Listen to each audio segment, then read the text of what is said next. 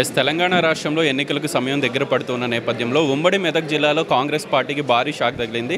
TPCC ఉపాధ్యక్షులు ఉమ్మడి మెదక్ జిల్లాకి సంబంధించి పార్లమెంట్ ఇన్ఛార్జిగా ఉన్న కాంగ్రెస్ పార్టీ నుంచి గాలి అనిల్ ఈరోజు పార్టీకి రాజీనామా చేశారు.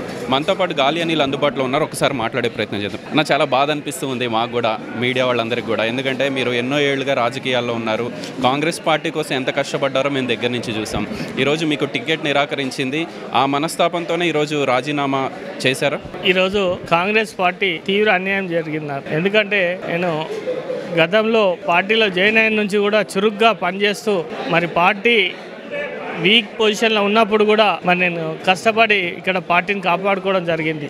అట్లాంటి పరిస్థితిలో మరి ఈరోజు కొత్త వాళ్ళకి ఎంతో మందికి టికెట్లు ఇవ్వడం జరిగింది. మేము దరఖాస్తు పెట్టుకున్నా మాకు టికెట్లు ఇవ్వలేదు. మరి నేను పార్లమెంట్లో ఎంపీగా కాంటెక్ట్ చేసినా ఆయన నాకు టికెట్ ఇవ్వలేదు. మరి ఇట్లాంటి వాళ్ళని గుర్తించకపోతే ఇంకెవరిని ఈ పార్టీలో న్యాయం చేస్తారని చెప్పి తెలియజేస్తూ మరి నాకు టికెట్ ఇవ్వలేదని మనస్తాప చెంది ఈరోజు పార్టీకి రాజీనామా చేయడం జరిగింది. పటాన్చెరు నియోజకవర్గంలో చాలా పెద్ద ఎత్తున కార్యక్రమాలు చేశారు. నర్సాపూర్ నియోజకవర్గానికి వెళ్ళమని మీ అధిష్టానమే చెప్పింది.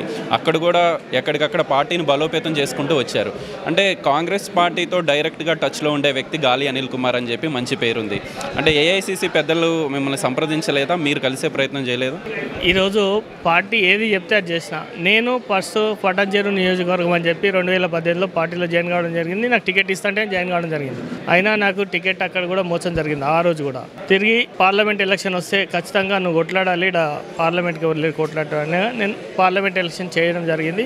అప్పుడు కూడా మంచి ఓట్లు తెచ్చుకున్నాను నేను. రెండు లక్షల ఎనభై ఆరు వేల ఓట్లు వచ్చాయి నాకు. తిరిగి అప్పటి నుంచి ఇప్పటి వరకు కూడా పార్టీలో ఏ కార్యక్రమాలు ఉన్నా ఏ ఉన్నా అన్ని రకాలుగా పార్టీకి నేను అండగా ఉండి పార్టీని నడిపించాను. మరి భారత్ జోడో యాత్ర అప్పుడు కూడా రాహుల్ గాంధీ వస్తే కూడా కన్యాకుమారి నుంచి కాశ్మీర్ దాకా నా వంతు సహకారం నా వంతు సాయం కూడా నేను పార్టీకి చేయడం జరిగింది. మరి ఈడీ కేసులో కూడా నేషనల్ దాంట్లో కూడా మరి దాంట్లో కూడా నన్ను ఈడీ కేసులో చేస్తే కూడా నేను దానికి కూడా సఫర్ కావడం జరిగింది. మరి ఇట్లాంటి పార్టీకి ఎన్ని రకాలుగా నాకు ఇబ్బందులు వచ్చినా మరి అనుభవిస్తూ పార్టీని పట్టుకొనే పాకులాడినా నేను. మరి నాకు టికెట్ ఇవ్వడం లేదని చెప్పి బాధాకరంతో ఈరోజు నేను రిజైన్ చేయడం జరిగింది.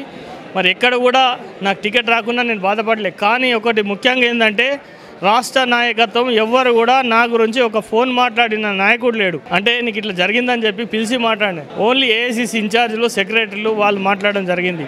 మరి వాళ్ళు మాట్లాడితే రేపు వీళ్ళు ఏం చేస్తారు? రేపు పొద్దుగా రాష్ట్ర నాయకత్వం రిఫరెన్సెస్ కావాలంటారు. అట్లా వాళ్ళ మీద నమ్మకం ఎవరి మీద నమ్మకం లేక ఈరోజు పార్టీకి మనస్తాపం చెంది మరి మా కార్యకర్తలు మేము అందరం కూడా ఈరోజు మూకుముడిగా పార్టీకి రాజీనామా చేయడం జరిగింది. అంటే నర్సాపూర్లో మీరు నామినేషన్ కూడా వేశారు. ఏంటి భవిష్యత్ కార్యాచరణ ఏంటి? బరిలో ఉంటారా నర్సాపూర్లో లేకపోతే విత్డ్రా అవ్వబోతున్నారు?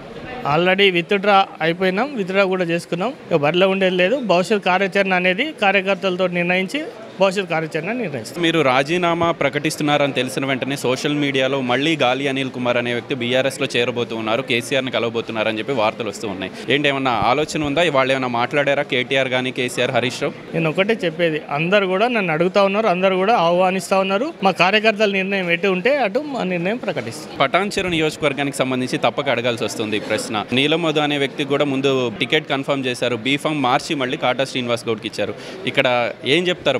పటాన్చెరుకి సంబంధించి? నేను పటాన్చేరు బీ బీఫామ్ గురించి మధు గురించి కానీ కాటా సినిమా నేను కామెంట్ చేయడం తలుసుకోలేదు నాకు జరిగిన అన్యాయం గురించి నేను మాట్లాడుతున్నాను ఈరోజు. అంటే ఈ రోజు మీటింగ్లో నర్సాపూర్కి సంబంధించిన కాంగ్రెస్ నాయకులు ఎవరైనా రాజీనామాలు చేస్తూ ఉన్నారా? ఎంపీపీ గారు వచ్చారు బ్లాక్ ప్రెసిడెంట్లు వచ్చారు మైనార్టీ సెల్ ప్రెసిడెంట్లు వచ్చారు చాలామంది కార్యకర్తలు కూడా ఈరోజు మాతో పాటు వచ్చి రాజీనామా చేసి రేపు భవిష్యత్ కార్యాచరణ ప్రకటిస్తారు thank you very much sir so ఇది ఓవరాల్గా గాలి అనిల్ కుమార్ ఒకటే స్పష్టం చేస్తున్నారు. తన భవిష్యత్ కార్యాచరణ మరికొద్ది గంటల్లో ప్రకటిస్తాను. అన్ని పార్టీలు సంప్రదింపులు చేస్తూ ఉన్నాయి. ఖచ్చితంగా కాంగ్రెస్ పార్టీ అన్యాయం చేస్తుంది కాబట్టి నేను కాంగ్రెస్ పార్టీకి రాజీనామా చేశానని చెప్పి చెప్తున్నారు. నర్సాపూర్కి సంబంధించిన కీలక నాయకులు కూడా ఈరోజు కాంగ్రెస్ పార్టీకి సభ్యత్వానికి రాజీనామా చేశారు. Video journalist Sanjitha Gopikrishna news sixteen Patancheru నియోజకవర్గం నుంచి.